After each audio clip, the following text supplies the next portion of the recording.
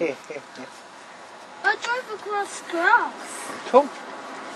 which I need to learn. You just need to learn how to ride. jammed.